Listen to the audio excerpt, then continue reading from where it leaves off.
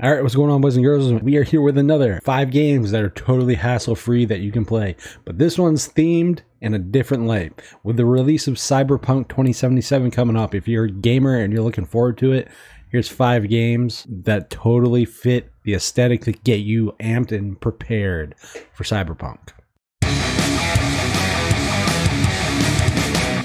So the first game that we have up is a trip down to Neo Paris, and it is called Remember Me. And this deals with human psyche and how we deal with memories and how they are and how they can be remixed and remastered because you play a memory remixer in this game. Combat is very Prince of Persia. The memory remixing is a cool aspect that I wish they would do another one in the series and focus more on it because the story is very good. The aesthetic is good. It is cyberpunk through and through dystopian future and all. Next up, we have a game that unfortunately only sold 20,000 units, and that game is Binary Domain. This game deals with one question What is it to be human? The ultimate question in any cyberpunk game to ask is What's the world like? Is it run by corporations? If the answer is yes, falls into cyberpunk. So, Binary Domain falls exactly into that. I don't want to give away too much of the story. Buy this game, third person shooter,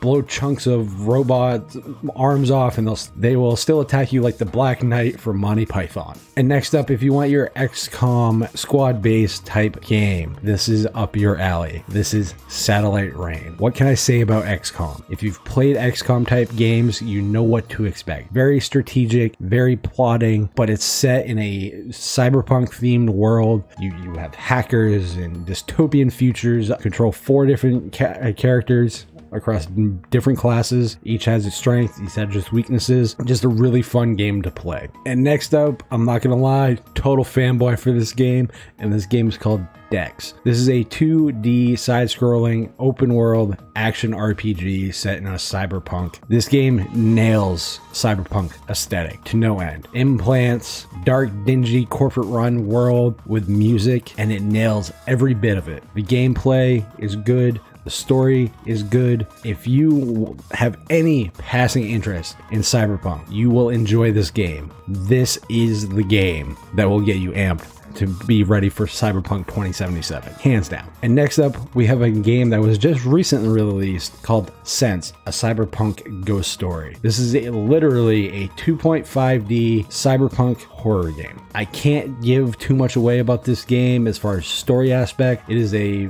point and click kind of game. If you have ever played any of the Monkey Island game, that is kind of what the gameplay falls into. Very story focused, very story heavy, and nails that cyberpunk aesthetic so well. Just a quick side story. This developer is amazing. He ended up committing to a PS Vita release physically for this game and he ended up holding back upgrading Unity to the very last version that they officially supported the PS Vita just to release this game because he promised the platform. That is an awesome developer that totally should be supported. So there you folks go. You have five more games to get ready for Cyberpunk 2077 when it's supposed to release in November this year. These games will keep you busy until then if you're a Cyberpunk fan. So I'll catch you guys on the flip side. Peace.